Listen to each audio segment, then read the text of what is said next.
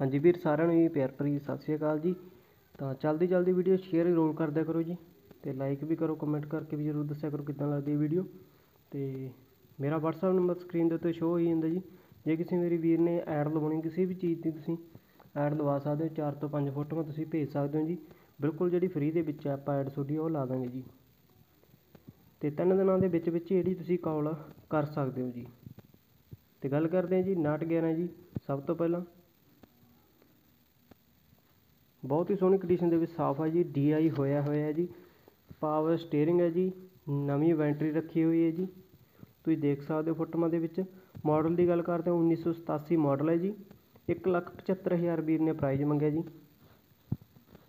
ਤੇ ਜਿਹੜਾ ਏਰੀਆ ਹੈਗਾ ਜੀ ਇਹਨਾਂ ਦਾ, ਨਿਹਾਲ ਸਿੰਘ ਵਾਲਾ ਏਰੀਆ ਜੀ ਇਹਨਾਂ ਦਾ। ਤੇ ਵੀਰ ਦਾ ਕੰਟੈਕਟ ਨੰਬਰ ਵੀ ਸ਼ੋ ਹੋਈ ਜਾਂਦਾ ਜੀ 98726 10449 98726 ਦਸ ਚਾਰ ਸੌ ਉਣੰਜਾ। ਅਤੇ ਤੁਸੀਂ ਜ਼ਰੂਰ ਇਹਨਾਂ ਨਾਲ ਕੰਟੈਕਟ ਕਰ ਸਕਦੇ ਹੋ ਜੀ। ਬੈਟਰੀ ਨਵੀਂ ਰੱਖੀ ਹੋਈ ਹੈ ਪਾਵਰ ਸਟੀਅਰਿੰਗ ਦੇ ਵਿੱਚ ਹੈ ਜੀ ਡੀ ਆਈ ਕੀਤਾ ਹੋਇਆ ਜੀ। ਅਤੇ ਫੋਟੋਆਂ ਤੁਹਾਡੇ ਸਾਹਮਣੇ ਹੈ ਜੀ, ਦੇਖ ਕੇ ਕੰਡੀਸ਼ਨ ਅਤੇ ਜ਼ਰੂਰ ਜਿਹਨੇ ਲੈਣਾ ਉਹ ਕੰਟੈਕਟ ਕਰ ਸਕਦਾ ਜੀ। ਅਤੇ ਅੱਗੇ ਗੱਲ ਕਰਦੇ ਹਾਂ ਜੀ ਆਪਾਂ।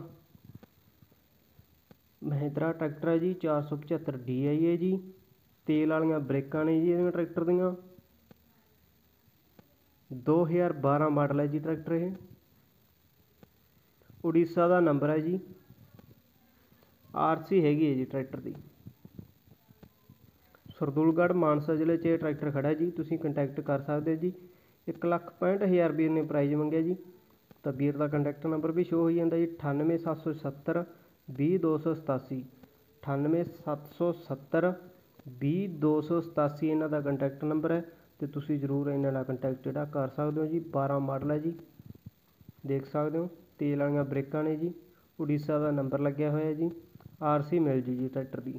ਸਰਦੂਲਗੜ੍ਹ ਮਾਨਸਾ ਜਿਹੜਾ ਟਰੈਕਟਰ ਖੜਾ ਤਾਂ ਜਿਹੜਾ ਨਵਾਂ ਦੇਖ ਰਿਹਾ ਵੀਰ ਭਾਈ ਤਾਂ ਆਪਣੇ ਚੈਨਲ ਨੂੰ ਜ਼ਰੂਰ ਸਬਸਕ੍ਰਾਈਬ ਕਰ ਦਿਓ ਜੀ ਤੇ ਸ਼ੇਅਰ ਜ਼ਰੂਰ ਕਰ ਦਿਆ ਕਰੋ ਜੀ। ਜੇ ਇਹ ਵੀਡੀਓ ਤੁਸੀਂ ਫੇਸਬੁੱਕ ਪੇਜ ਦੇ ਉੱਤੇ ਦੇਖ ਰਹੇ ਹੋ ਤਾਂ ਜ਼ਰੂਰ ਫੋਲੋ ਕਰੋ ਜੀ ਆਪਣੇ ਪੇਜ ਨੂੰ, ਤਾਂ ਕਿ ਆਪਣਾ ਹੌਸਲਾ ਵਜਾਈ ਹੋ ਜੀ। ਧੰਨਵਾਦ ਜੀ, ਮਿਲਦੇ ਹਾਂ ਕਿਸੇ ਹੋਰ ਵੀਡੀਓ ਵਿੱਚ। Thank you